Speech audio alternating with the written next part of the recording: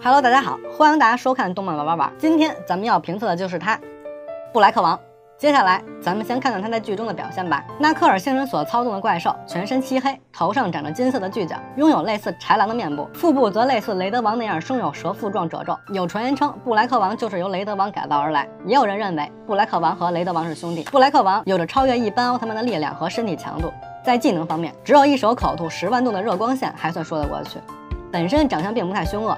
人偶化后反而还有点可爱。看完了他在剧中的表现以后，接下来咱们再来看看具体的模型吧。布莱克王最大的特点就是他的金角、金牙和金色的骨刺，整个身体没有太多的特点，没有太多的零碎，也就意味着模型化的还原程度更高。